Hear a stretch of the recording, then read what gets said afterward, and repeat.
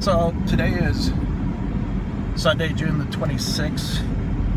I am out about running a few errands today. Most of my videos have been just theme-based um, conventions that I attend.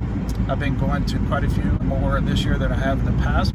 The Renaissance Festival first for the first time this year, which was amazing. I mean, I don't know why I waited so long to to visit that uh, festival. It was um, really fun to go to and uh, to experience. So I'm certainly going to put that on my calendar. Lego Brick Expo was a new one we just happened to catch. So I hope you like the videos that I put up so far. If you do, give me a thumbs up, a like on them. That way it tells me that um, one, what I'm putting up is viewed and enjoyed. Um, I have three subscribers, so thank you. But that's really it. Just wanted to share that with you. Just kind of give an update since it's been about a week or two, a couple weeks since my last video and kind of try to explain what this channel is about. So at Barnes & Noble, I just met Troy Dungan. Actually, I actually met him yesterday. So who is Troy? Troy is a local news broadcaster. He has been uh, our local weatherman on Channel 8. He's been in broadcasting for years.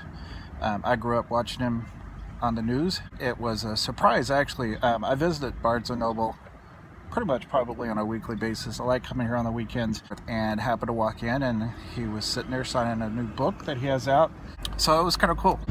This week we are actually heading to Washington DC for the 4th, which is a big deal because it's one of my bucket list of things to do is to be at the nation's capital on July 4th. So really looking forward to that. I've been to DC once, but it was on uh, business uh, attended a two-day conference there, and so I didn't get to see DC as a tourist. We hope to get there this Sunday, which is the third, and then spend the third, the fourth, and the fifth, and then we'll start trekking back to Texas.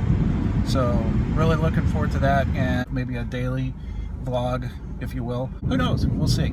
So anyway, um, that's it. I just wanted to give you a update. So with that said, um, see you later.